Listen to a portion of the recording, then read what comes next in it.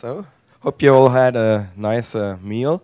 Um, now uh, we're gonna uh, hear uh, Mark Thomas uh, tell us what you have to do to migrate your applications to run on Tomcat 8. All right, thank you.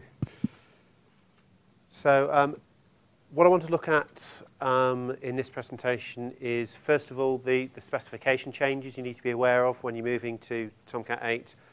Then the, the, sort of Tomcat specific changes. So if you're on Tomcat and you're used to either 6 or 7, what might have changed on a, sort of a pure Tomcat side that might catch you out. I'll wrap up with a bit of summary. Questions-wise, I'm happy to take them as we go along. Um, for those of you that are here for the SSL talk, I've got a little bit less material for this one, so there should be plenty of time for questions, so feel free to uh, ask as we go. Yeah, I think we can pretty much skip through this. Uh, there might be a quiz on these slides later, but for now, um, why do I want to talk about this? Well, there's lots of information out there about what are all the new features in Tomcat 8. I mean, I've given some of the presentations. Um, other people I recognise in this room have given presentations about what's new in Tomcat 8. So what I wanted to focus on was what might break when you take something that works beautifully on Tomcat 6 or Tomcat 7 or potentially another application server and run it on Tomcat 8, what might catch you out? What's likely to go wrong? So there's really two aspects to it. First of all, there's the J2EE specifications. These are meant to be backwards compatible. Um, and in some cases, they bend over backwards and make life a complete pain for members of the expert group, and I say that with feeling in order to keep the backwards compatibility. But there are still places where it's broken, and there are a couple of places that I'll cover that genuinely could cause problems for your application, so I'll make sure you're aware of those. And then there's the Tomcat side of things. Um, we, we're a little bit more flexible than the Java EE groups are generally. We will pretty much freely break any Tomcat API from one major version to the next. Um, and we've done that quite spectacularly in a few places in Tomcat 8. So I want to make you aware of those so that if you are using any Tomcat specific features, then you know what might bite you as you move to 8. So first of all, let's look at the specifications. In Tomcat 8, we're talking about four specifications. So it's Servlet 3.1, JSP 2.3, EL3.0, and the new one for Tomcat 8, which is WebSocket. Um, I'm not actually going to cover them in that order. I'm sort of going to try and do the um, sort of easiest first. First of all, the expression language. Um, there's one big change that is pretty much guaranteed to bite you if you're using expression language. And if you're using um, Java Server Faces, it's almost certainly going to bite you.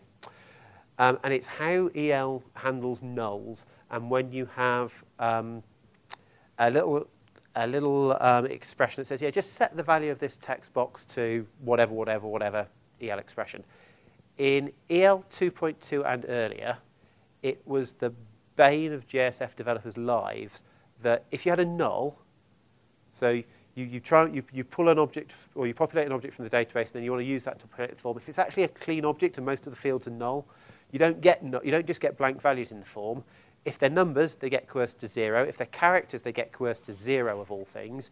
Um, and if they're booleans, they get coerced to false. You don't get the nulls, which just causes you a whole heap of pain and things you have to deal with. So to deal with that, Tomcat um, introduced this system property org Apache EL parser coerced to zero, which pretty much everybody um, sets to false. So, so basically, specification non-compliant. We don't. We want the nulls. If we say null, that's what we want to come out of it. Um, otherwise, you get all sorts of problems with forms being populated with the wrong values and things. Uh, that problem was recognized in EL 3.0, so that was changed. So if it's a null, if it's, if it's trying to coerce a number, character, or Boolean, it will actually coerce them to nulls, which is great for the people that were um, using the Tomcat system property. Not so great for those people that spent a lot of time coding around this problem, assuming that the spec wasn't going to change. And now it's just gone back and it's going to bite you the other way. Um, so fortunately for, in Tomcat, it's actually fairly easy to deal with. You just set the system property to be whatever you want it to be. Um, the default has changed between Tomcat 7 and Tomcat 8, but you, the property still exists, so you can set it for whatever behavior. So whilst it has the potential to be very disruptive, the system properly just flicks it straight back to um, how it was in Tomcat 7. And the great thing for us was implementing this was really easy. It was just a five characters to four character change in the, uh, setting the default. So, yeah, we'll just change the default. Oh, look, whole pile of specification all implemented. I like things like that. So it's dead easy. Just set it back to true if you want the 2.2 behavior. So that's really the, the, the thing that's going to bite with expression language. And there are other things in there as well. There's new syntax, um, new characters that might, if you really try very hard, catch you out, but they'll be very, they'll be very easy to work, work, work around, so I'm not really going to cover that in, in a great deal of detail. The next one is, I'm going to look at the JSP 2.3 spec. There are some minor changes just to reflect the changes that are in the expression language.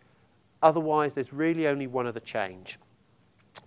Um, and if you look at a servlet container, or rather a JSP container in 2.2, then if you send an HTTP request to a JSP, it isn't actually defined anywhere which HTTP methods it's meant to respond to and which ones it isn't meant to respond to.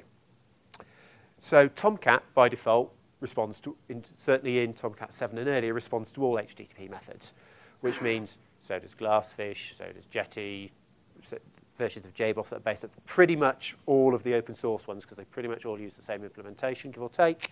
They're all going to respond to everything.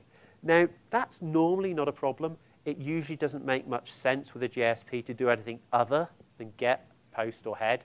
And you do a, you do a delete on it, well, it's very unlikely to do anything. It just, because, for what, because JSPs are really there to, sort of present the view of the data, it, it's unlikely you're going to want to use any of the other HTTP verbs. However, um, there are applications out there that do, that do do slightly different things depending on, say, get or post. They might they might update something versus view something. And they might have some permissions on that JSP set up in, as security constraints that do say things like, well, if it's to use post, you've got to be a member of this group. To use get, you've got to be a member of this group. And that's fine and dandy, apart from a little problem called HTTP verb tampering, which mean normally, if you, if you send a, an HTTP verb to a servlet it doesn't understand, it just says, no idea what you're talking about, unknown HTTP method. So if rather than doing a you know, get slash get space slash slash HTTP 1.1 to do a get request to the root, if you did a foobar space slash uh, space HTTP uh, slash 1.1, do that to a servlet, it'll say foobar, no idea what HTTP method that is. Do it to a JSP. It says, yeah, sure, here you go, here's the content. And the problem there is if your security constraints only enumerate the HTTP methods you're expecting, the request for foobar will go right past that and do whatever the default is, which hopefully is only the get. If it's the post, you might have real problems. Um, so that creates a whole bunch of problems, and there's an incredibly long-winded discussion in the servlet expert group about how to deal with verb tampering. Um, and I tried and failed to take the position, look, we've got all the, all the configuration options we need for people to implement this securely. They just need to do it. Because you basically, what you should do is say, uh, this constraint is for get, this constraint is for post, this constraint is for anything apart from get and post. And you just need to make sure that those two match so you've covered all possible verbs. And quite a few people don't.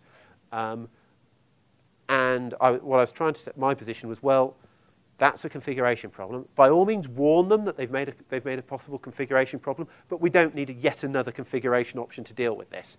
What we got was yet another configuration option to deal with this, but worry about that when we talk about servlets. Getting back to this, the main problem we, it was felt we needed to do something was verb tampering in JSPs because by default they respond to everything. So what we did in JSP 2.3 was say, right, um, JSPs will respond to get, they will respond to post, they will respond to head. Everything else is, remains undefined. And undefined in Tomcat means no, we don't. We just reject the request. So it does mean if you're using JSPs with weird HTTP methods, then in Tomcat 8 they're going to break. And I don't believe I got around to implementing the configuration option to allow you to change that. But if I didn't and you need it, open an enhancement request and we, it's not that difficult to do. Um, I think we just came to the conclusion that nobody would need it. But if that conclusion's wrong, let us know and it's, it's a pretty trivial fix. Okay, next one, um, WebSocket. So Tomcat 7 initially shipped with a proprietary WebSocket API that I basically made up, um, along, and it was made up on the basis of, well, this is what the WebSocket specification has to do. These are the Tomcat internals I've got to work with. What API is the, it makes most sense, is easiest to work with. So that, that's pretty much how the API evolved. It was more to do with how easy it was for me to implement than it was for people to use. It wasn't completely crazy, but it that was really the, the primary driver for how it evolved. So Tomcat 8 ships with the JSR 356 WebSocket implementation, so the standard available in all the containers, Java WebSocket 1.0 API. We've also backported that to Tomcat 7. And at the same time, said, yeah, that, that proprietary thing that Mark made up, that was great, but yeah, no, that's deprecated. We're not going to use that anymore. Um, if you find a bug, yeah, we'll fix it, but it's been removed completely in Tomcat 8. It doesn't, the code doesn't even exist. Um, there is a very strong push that, that, you really should be using the, the standard WebSocket API. Um, so if you are using the proprietary one, you need to migrate. And, right, 142, 47, 33. Right, let's see if we can get this right. Because what I want to do is show you, um, 42, 47, 33, is how we did this for one of the Tomcat apps. 42, 47, 33. Excellent, that's what I, hope, was hoping to see. Right, so what we've got here is the commit that took the web, the snake example from WebSocket, which is just a simple snake game. Um, I do like the fact that Tomcat now ships with a game by default. Um, how, we how we took this and converted it from the old proprietary API to the new API. And what I want you to show is, okay, this is a relatively simple example, and it's not trivial, but uh, just how easy it was to do that conversion. So what we started with was um, there's not much scope for scrolling down here, is that? now?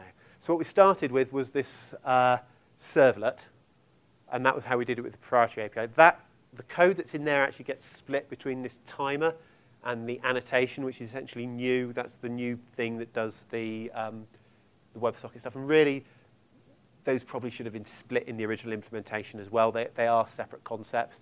And it probably would have been better if the servlet had moved to the annotation and the timer had been extracted, but that's just not the way I ended up doing the, do, doing the copy and the commit. Um, that servlet then got deleted, so essentially it got replaced by the timer. And the snake bit and the location bit, which were just sort of objects for the app, they just got edited. So I'll do those first, because they're actually really easy. Um, so to give you an idea of the sort of thing that had a change, oops, wrong want text changed. So here it's just a case of, yeah, really nothing changed here at all. We just had to change some constants because we changed the class names of the classes that we're using. So that's easy. That's really, that's kind of a, yeah, the IDE will just deal with that. I don't have to worry about it change.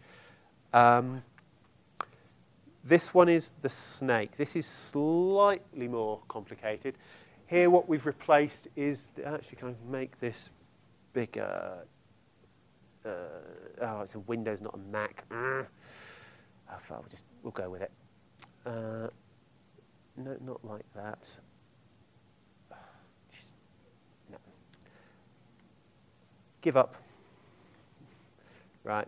Um, apologies if you have to squint. So what we essentially do here is, in the old proprietary API, the object that you used to talk to your clients was, was a uh, sort of called this outbound object, WebSocket outbound, WS outbound. In the, the Java WebSocket JSR 356, that's replaced by the WebSocket session. So essentially all that's really changed here is we've, got, we've replaced outbound with session. So keep, rather than keeping a record of the, the outbound, we keep a copy of the session. We pass in the session rather than the outbound. Uh, that's just a straight change. That's just the renaming stuff. And the, the send messages are slightly different. Uh, rather than having to do, and there's a little bit of refactoring going on here as well. But let me just scroll down uh, rather than having to yeah, create a character buffer and basically wrap this text inside a character buffer, it's a little bit simpler in that we just use the send message. And you say, yeah, get the remote, send the string. And that's, it's, you just don't have to wrap it with a character buffer, really. So again, that's a pretty trivial change to make. And then I think these other ones, then it's just more constants changing again. So really the, the outbound and the session are pretty much a one-to-one mapping, and how you write the data has changed slightly, but again, it's all fairly, you can almost do it with a straight um, global search and replace. It's not quite that simple, but it's pretty close. Uh, so still pretty easy stuff. Um, right, uh, the web was easy, just remove all the, all the WebSocket stuff, because we do it with annotate, we can use annotations now. And all the WebSocket examples largely are done with annotation, so you just yeah, delete anything you're doing in web.xml for the proprietary API. That's, again, nice and easy. The slightly harder bit is this one here, where we're splitting up the, um, the what was the servlet into the timer and the annotation. So as I said, there's really two aspects to this. Um, so a lot of a lot of what you're seeing here is being deleted is stuff that moved into the the annotation bit. Uh, but let's see if we've got some comparable code further down. Yeah. So yeah, and this method here, where it's doing a, um, yeah, in fact, that's just that's just refactoring for the split. It's all pretty much pull it out, leave it alone, and the, again, the send messages stuff, you don't need to wrap it with the character buffer, but you'll see that in the annotation. Um, so all pretty simple. That's just been moved out, so it's just been deleted. And that's, yeah, again, constants changing, get, stuff gets moved out. So if you're going to have a look at the annotation, which is where sort of the, it's the new one where the real work gets done. A lot of this is just a straight copy of stuff that got deleted from the timer one. Uh, the bit that's slightly different is the methods that you're putting the stuff in. You've now got the annotations at WebSocket on open, so this will get called um, when the connection is created. On at WebSocket message, that will get called when a message is received. So the, the methods have changed a bit, and you've put the annotations on there, and there'll be an annotation on the class as well, just to define the endpoint. And that's basically what let us rip all that stuff out of web.xml. But it's all pretty simple stuff, fairly easy to do. Uh, I think it took me probably about, I don't know, 40 minutes to go through and convert all of the Tomcat examples from the old one to the new API. And so there was a chat example in there. There was a simple, there was echo. We had programmatic and annotation to do there. There was the snake, and then the drawing board got added later. Um, so it's all pretty simple to do. Um, but obviously, if you're using the proprietary API, you're going to have to do that to move to Tomcat 8. Right, Servlet 3.1. Um, moving on. Session ID changes by default on authentication. That's to prevent session fixation. Browsers won't care. Browsers will just carry on working. Um, Java applets might get confused if you're using those. If you've got anything that's sort of a more, more programmatic client that isn't expecting the session ID to change, this will catch it out. You can turn this off. I really recommend that you don't. Um, you know, session fixation is a genuine security issue, and really this is the only way to deal with it. Um, I should point out, it doesn't create a new session, it just changes the ID. So if you've got a session object, and you've put a whole pile of data in it, and you then, then you authenticate, all that happens is that the ID changes. All of the data you've put in that session is still there, is still accessible. We literally just change the value of the ID field on the session object. Um, oh, yeah, annotation scanning. This is, most of this has actually been backported to Tomcat 7 now. So you might see some of this if you're on an earlier version of 7 moving up to a later 7 or onto 8.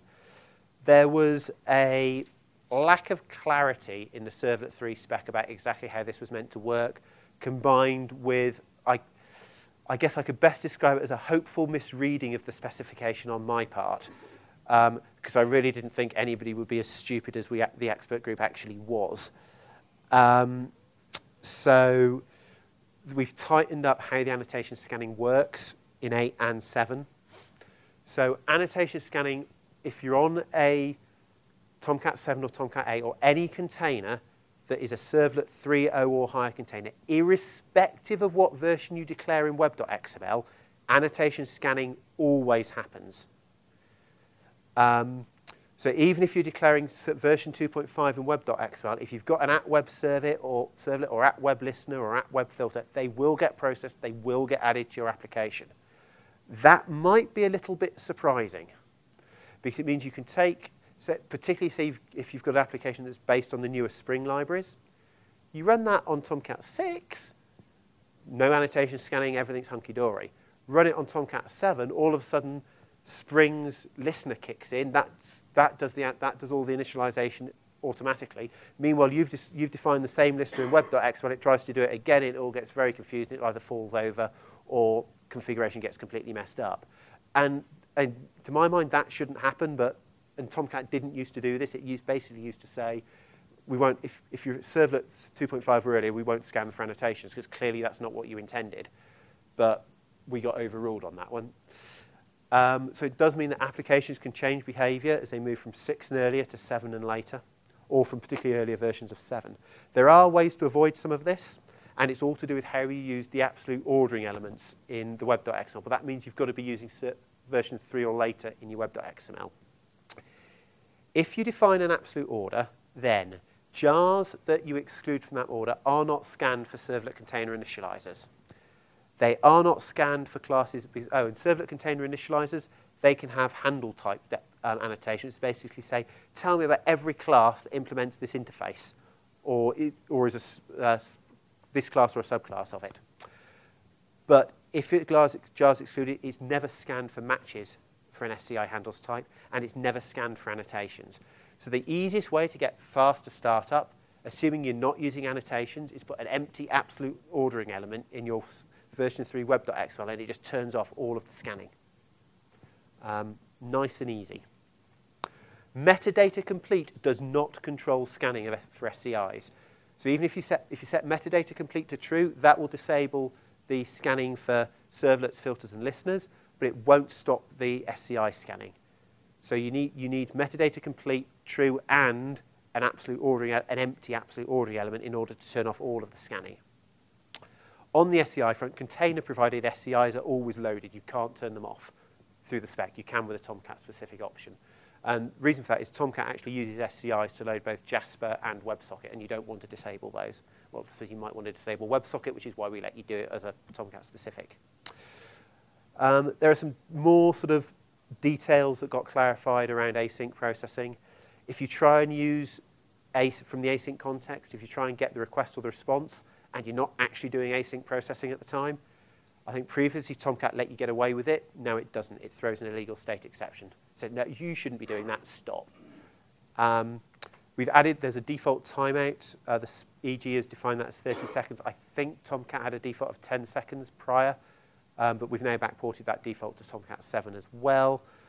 Um, and it, the EG also defined what happens if you have an async listener and it throws a unchecked exception during, um, during processing one of its methods.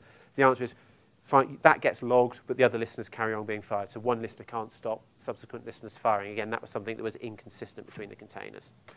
So that's the spec changes. So there's a few things there that might catch you out, and then there's the Tomcat stuff. So uh, we've changed the default connector from blocking I.O. to non-blocking I.O. That's primarily because with all of the non-blocking functionality that's been introduced into the servlet spec, sort of the hoops you have to jump through and the fudges you have to implement in the blocking I.O. connector to make it look like it's doing non-blocking even when it isn't, have just got to the point where it's just not it's, the code's ugly. I, I, desperately want to delete it. It just, it's just not worth trying to maintain it anymore. Um, so it's, it's likely to get, get deprecated at 8 and dropped for 9. We just need to have a discussion within the, the community to confirm that everybody's happy with that. Um, you shouldn't notice any change in terms of configuration. There's only one option that BIO supports that NIO doesn't, and it's completely irrelevant for NIO because it's dealing with a problem that's unique to BIO. The problem with BIO is because it's always one thread, one connection. If you've got keep alive, what could happen is if you've got 200 threads in your thread pool, 200 connections all using keep alive, you've got, you've got an exhausted thread pool and you can't serve any new connections. So what that does is by default, it says once I've got 75% of my thread pool doing keep alive, the remaining 25% won't ever. So those 25% just can always be available to process new connections. So it just stops the whole thing locking up. You don't have that problem with NIO because NIO is as many connections as you like, well, depending on how many ports you've got. I think the default limit's 10,000 connections. But it's then, th uh, the thread pool is only used to process the connection when there's data on that connection to process. So if you've got 10,000 keep alive connections, it doesn't matter.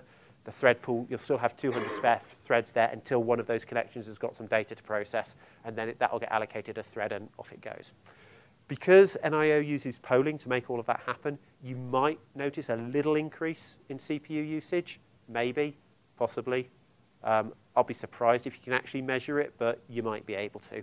If you tweak some of the connector settings and really force some sort of heavy polling, then you might just about be able to measure it.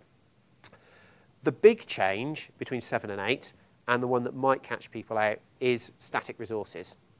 In Tomcat 7, we have a whole bunch of features. Um, there's aliases that lets you map a directory on the, on the system into a URL space in the web app. There's virtual loader that lets you take jars and classes that are else, elsewhere on the file system and map them into a web app.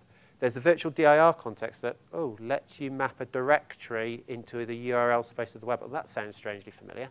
There's jar resources that lets you take content that's, and this is part of the spec, the others aren't, um, meta content from meta-inf resources in a jar file that's wrapped with, shipped with the app, and oh, map it into the URL space of the app. Actually, it's fixed mapping into the root, but it's, it's the same thing.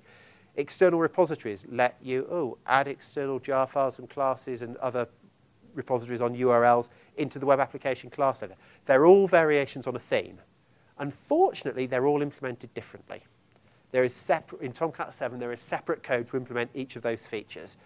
Um, to call the code fragile would be an understatement.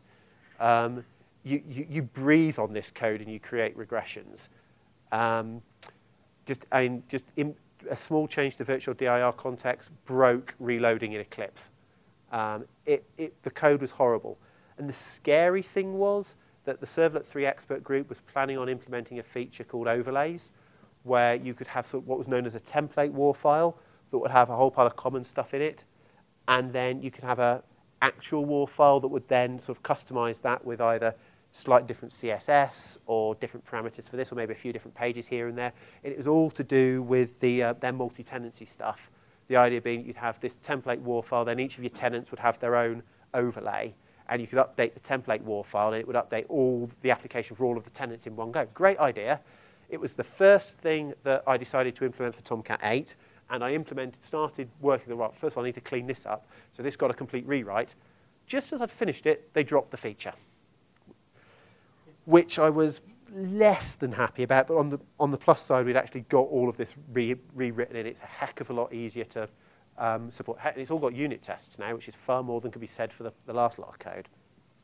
So there is a completely new implementation for static resources. Um, everything's all been merged into a single framework. Everything you could do before, you can still do, and you can do more. The, the configuration is completely new. Um, and caching, all the configuration to do with caching has moved from the context and it's been put into the new um, web resources configuration. What you do now is you can define resources as the main resources, that's essentially what ships with the war file. You've got pre-resources, so that those are things that when Tomcat searches for a static resource, it checks the pre-resources, then the main, then the jars, then the post. So essentially, pre-resources can be used to override anything that's in the web app. Jar resources are the standard uh, servlet specification jar resources, so they always get checked after the main resources. And post resources are kind of the, the option of last resort. If I haven't defined it in any of these, well, it'll pick up the version that's there. And each of those um, can be, uh, have we missed the types? Yeah, uh, yeah, what I've missed from here is there are three different implementations of each of these. Each of these can point to a jar file or a directory or an individual file, and you can have as many of them. Sorry, there's only ever one main resources, but you can have as many pre-resources and as many jar resources and as many post resources as you like. Generally, you wouldn't bother setting this up. Tomcat does that for you. It's the pre and the post that you're going to worry about. But you can do things like, oh yeah, that jar file over there, um, the, uh, you know, 10 levels of directory down, map that contact to this completely different path over here in the web application, if you want to. Um, and each of those resources that you define, there are a number of attributes you can, attributes you need to define. The base is basically where to find it. Where's the jar file? Where's the directory? Where's the file? The internal path is the and it's prim, this is primarily makes sense for jars, but and makes no sense at all for files. It, you can use it with directories, but why would you? Because you just specify a different base. But the internal path is the path within the jar file to the root of the resources you want to serve. The web app mount is the path within the web application you want those resources to be served at and read-only is whether or not you want them to be read-only or whether you want them to be read-write. Normally you'd go for read-only, but if you would, if you make, if you're say using WebDAV to make the web application remotely editable by certain users, you might want to make some, say, some external files or external directories read-write. But you've got the choice there. Um, so that's the resources. The configuration is all, for it is all in the Tomcat 8 docs. So if you're using any of those Tomcat 7 features, then you'll need to migrate that across. Internal APIs, we've changed quite a few things. It's all cleanup, basically. Um, manager load and resources, were you, and you could define a session manager for a single servlet. Why? And it, it created a whole pile of unnecessary code, a whole pile of pointless casts. So we just got rid of all of that and just moved the session manager, the class loader, and the static resources to the web application because it's the only object that ever used them. Um, so that enabled us to do some cleanup.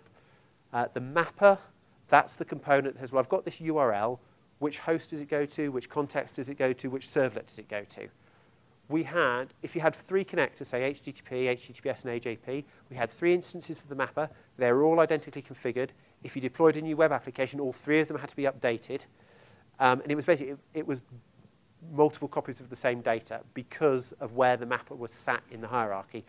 We moved the mapper from the connector to the service, and now there's only one of them, so we've saved a bit of memory, and it's quicker to update, and it's easier to manage, and da, da, da, da, da, da. We've talked about the web resources stuff. The general message here is if you're using a Tomcat internal API, check the Java doc, check what you're doing, um, still compiles. If it doesn't, you might have a few changes to make. If we've done something that really breaks it for you, uh, then you know, let us know. Uh, we have been known to revert some of these changes. If, if, if, there's a strong case for restoring the old functionality or the old API, um, if we've broken something really badly, Tommy, um, which we've done a couple of times with some of the cleanup, then know, let us know and we can, we can do something to fix it. It might not be a, com a complete revert, but we'll put some feature in there that lets you do what you're doing before, hopefully as easily. Um, database connection pools. Tomcat 7 and earlier is based on Commons DBCP 1. Tomcat 8 is based on Commons DBCP 2. It's, DBCP 2 has much better performance in environments where you have multiple threads trying to either check out or return connections at the same time. Now, there's not actually that many applications that have large numbers of threads doing that, but where they do, you'll see, you should see a big performance difference. Um, JDBC pool is still a little bit quicker than DBCP2 by default, but that's by default, it does less than DBCP2. If you actually have an apples to apples configuration comparison, they're close enough that you're not going to notice the difference in the real world. You're talking about microseconds difference in borrowing a connection or returning it, and most database operations are measured in milliseconds anyway, so you're orders of magnitude away from what you're ever going to notice. Um, there are some changes to the names of the configuration attributes, though, um, and this will bite you in Tomcat. Uh, max active needs to be renamed to max total. Uh, max wait needs to be renamed to max wait willies, uh, mi willies, millies even. Um, validation no longer requires a validation query. If you enable validation and you don't specify a validation query, in Tomcat 8 it will just use connection is valid to check whether the connection is valid. One of the things that we're going to discuss in the Tomcat Summit on Friday, I suspect it'll be a fairly short discussion, is should we be nice and at least warn users if we spot this problem? Or could, should we even be really nice and fix it for them and warn them? Um, at, the, at the minute, the answer is we don't, we don't spot it, we don't warn you, we don't do anything, we just let it go horribly wrong without telling you. I suspect I know how we're going to fix that. Um, as someone who's bounced back and forth between 7 and 8 a lot recently, yep. Yes. yep. Because it won't complain if it doesn't recognize it. Correct. Uh, but I think, what, I think we can make that easier for people. Um, right, this hasn't happened yet. It's going to happen, and it's the one thing that is really standing now between Tomcat 8 and Tomcat 8 being stable. The cookie specifications are basically a mess. Uh, it started off with the Netscape spec, informally known as version 0. That's full of holes. Um, you could drive a truck through some of the gaps in that spec. There's lots of things that aren't defined, lots of things that are ambiguous. Um, so that clearly needed, needed, needed fixing. So it was fixed with RFC 2109, which is no, that's cookies version 1. That's generally okay. It fixes most of the problem. There's a few holes in it, but in the grand scheme of things, it would work. It would be nice if the browsers had actually implemented it. Most of them haven't, or they've partially implemented it or they've skipped some bits, or they've taken a few shortcuts. And generally, it's an when we had to fix some the cookie handling in Tomcat to deal with some security issues, and we ended up with strict RFC 2109, and it broke for just about every single browser. And we, we were getting yelled at for months on the users and the dev list about the stuff we broke. Um, some, I mean, we were yelling back a little bit, saying, yeah, your cookie's not valid. You can't put that character in a cookie. And we won some of those arguments, but we lost quite a few of them as well. It's all back to that the, the browsers weren't implementing it. Now, there were some, as I say, some small deficiencies in version 1. So there's RFC 2965 version 2 that fixed all of those that nobody implements. Um, it's just completely ignored. Um, yet, generally, cookies are one of these, we all use them and it all pretty much works. How on earth did that manage to happen? Well, luck rather than judgment, I think. I think the, the browser vendors, vendors pretty much converged on what they viewed was as a sensible way of doing things. The server vendor said, well, if that's what the browsers are sending us, then we'll write the parsing code to make sure we can deal with it. And you kind of got this unofficial, this is what everybody understands what's meant to happen but it's not written down anywhere specification. And there were some small inconsistencies, as you'd expect, across that. So the response to that was, right, okay, clearly writing a specification and expecting people to implement it where cookies concerned isn't going to happen. So the best we can do is document what they're actually doing. And that's what RFC 20, uh, 6265 does. Um, and there's a few places where it does try and clean things up and tighten it up but broadly it's, um, it specifies what the browsers are expecting. So Tomcat currently tries to do 2109 with a bunch of workarounds. Um, well, uh, Jeremy was looking at this. He found a whole bunch of bugs in the stuff that we do that. And it's all going to fall over anyway as soon as HTML5 starts gets into wider use and people start putting UTF-8 in cookies. Because UTF-8 in HTTP headers is always a good place to start. um, it's doable if you quote it properly, but people the, the, server needs to expect it, expect it to be there. Otherwise, um, the UTF-8 starts to look like line terminators and you get headers breaking across lines. It all gets very messy very quickly. So there's a very thorough review of the current state that Jeremy's done. That's documented on the Tomcat wiki, um, along with a whole bunch of proposed solutions, which I think pretty much that's a good plan. It's what we need to do. We just need to get on and do it, and that's pretty much my next big piece of work to try and do. I strongly encourage you to have a look at that, review it, and comment. If you think we're doing something wrong, now's the time to comment. It's much easier to fix it before we start writing code than afterwards. Um, so please have a look at that, give us some, have us some feedback, let us know what you think um, before the work starts. I say that's going to happen pretty soon. Um, yeah, the, the thing, I've said pretty much all of that. The thing I haven't said is what we're proposing to do for the cookies should nearly be always be backwards compatible. There might be a few edge cases, but generally it, it should work. But whenever we touch the cookie code, somebody ends up screaming. So the sooner you review it, the sooner you test the early versions of Tomcat that have got implementations of this, the sooner we get the feedback, the sooner we can fix it. We can work out what additional knobs we need to add so people can configure it so it works for their particular system. Like I say, the details are all on the wiki. So, in summary, you you might get effect, impacted by the cookies. Generally, uh, is it unlikely going to be affected? Probably. Um, it should be a pretty smooth upgrade. And for instance, Jira, not the simplest of web applications in the world, um, and technically not supported if you run it on Tomcat 8.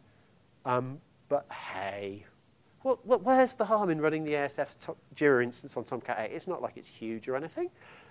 Uh, but we did it, and it's fine. Um, we did uncover a couple of Jira bugs in the process, but they were to do with um, class loading and signed jars and breaking rules about sealing and loading classes from the same package from signed and unsigned jars.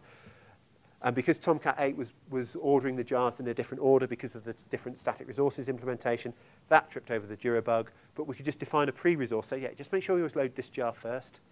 And then that avoided all of the problems. So it, has been incredibly smooth. I mean, Jira's been up now, I think it's probably about three or four weeks since I last rebooted it for an upgrade. Um, it's completely solid, no issues at all. Memory usage is you know, standard sawtooth, not steadily rising. Um, so it is certainly possible to take a fairly complex app that ran on 7, supported on 7, tested on 7, and just drop it on 8 and have it work largely. Um, you're unlikely to get hit by the sorts of bugs that we got hit, hit by with Jira. So it is being, you know, Tomcat 8 is being used in production. It is being, it is being tested. Um, and if you want to switch and you hit, and you can pretty much switch now, say it's only the cookies stuff that's, that's holding it back from having the stable label. If you do hit a problem, help's always available on the, on the users list. That's generally the first place to start. Even if you think you've got a bug, I'd suggest starting on the users list and saying, I'm seeing this, is it a bug? Because that will be far better received than posting on the dev list saying, I found a bug only to be found. Actually, no, it's not. That's a configuration problem. The, the community as a whole is far more tolerant of dev questions on the users list than they are users questions on the dev list. So if you're not at all sure, start on the users list and you'll be fine. Okay, um, I've actually managed to stick to time, which is quite miraculous. Uh, got a few minutes left for questions. Nario, there must be one somewhere.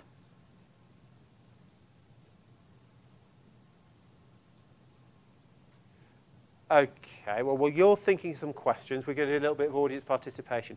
Who's currently using Tomcat 5 or earlier in production? Good answer. Ooh. Yeah.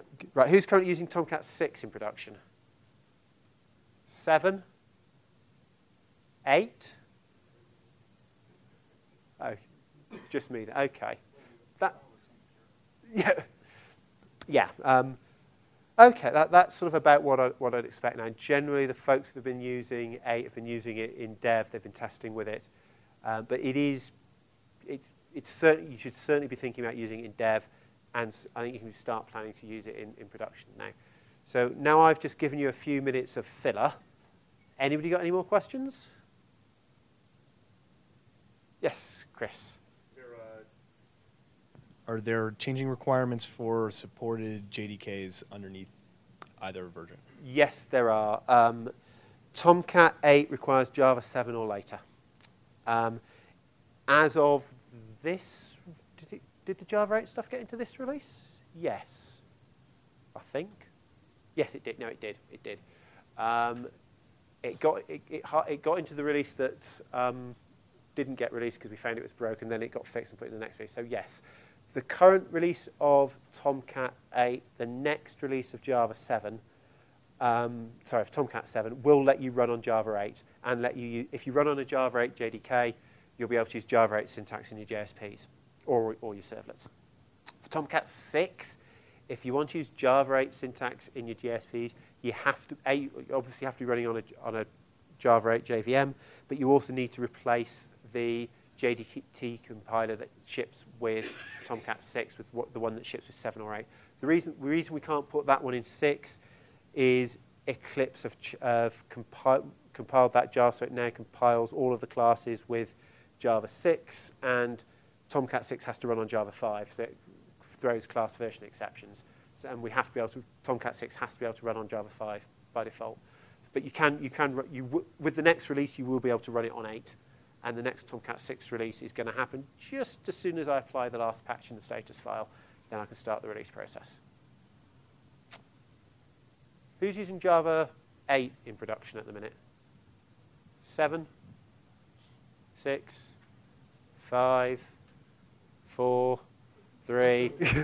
yeah, that's kind of about what I'd expect. Um, okay. Right, well, I'm around for um, the rest of the day, in fact, the rest of this week. Um, I'll be at the Barcamp tomorrow, I'll be at the Tomcat Summit on Friday. Um, I'll be hanging around here for the rest of the afternoon. I've got another talk at the end of the day anyway. If you've got any questions, if anything occurs to you, then do come and find me. But for now, thank you very much.